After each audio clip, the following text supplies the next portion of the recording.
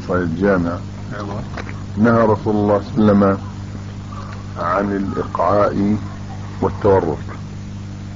تعليق إنه آه نهى عن فسرت الإقعاء والتورك منهي عنه إلا في الركعة في الركعة في التشهد الأخير. آه اللي عرفناه خلال السنين انه منكم وهذا ما جرينا عليه. أن التورك لا يكون إلا في صلاة ثلاثية أو رباعية وفي التشهد الأخير منها. أما الثنائية فلا. لكننا منذ أيام رأيناكم تتوركون في الثنائية. مريض. حسن ظنك بشيء تظنه لا يزال شابا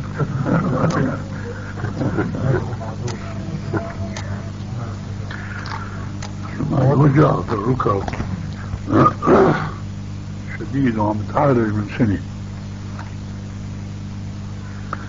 وبهالإمساك اللي صار معي يشتد الوجع في جميع البدن وازداد الوجع. ها إسهال نعم. آه الوجع أصاب بدني كله وازداد الوجع في الركب. آه أحيانا بضطر إني أتورك خاصة إذا صليت وراء إمام أعرف منه بأنه يطيل التشهد. أحيانا بجاهد نفسي وبقعد غير القيادة هذه. المقصود أنه هذا لعذر الذي يصلي متربعا كما تعلم. شيخنا بهذه المناسبة نود أن تبينوا لنا آه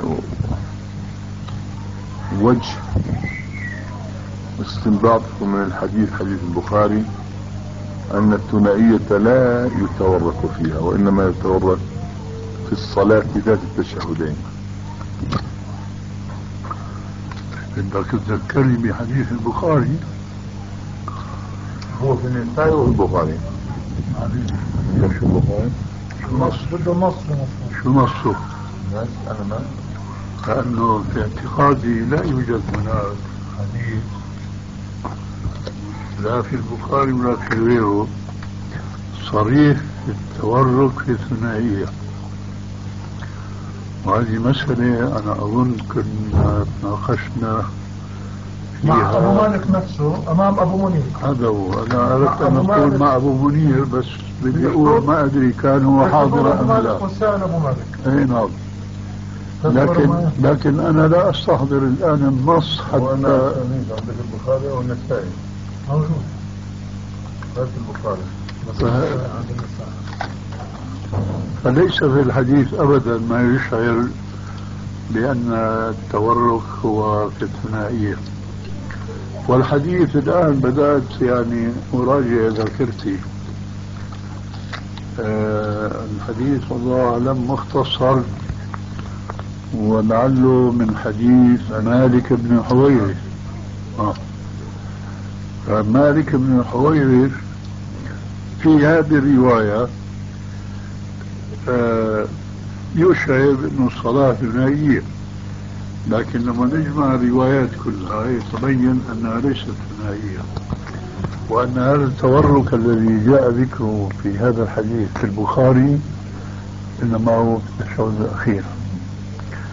وهذا يعني يقع كثيرا مثل هذا الاختصار الذي يضل الواقف عليه فيما إذا لم يجمع الروايات التي يخص بعضها بعضا. هذه الروايات جمعتموها في المختصر مختصر مسلم؟ البخاري بخاري آه. الجزء الأول. كويس. اللي كان عندك الجزء موجود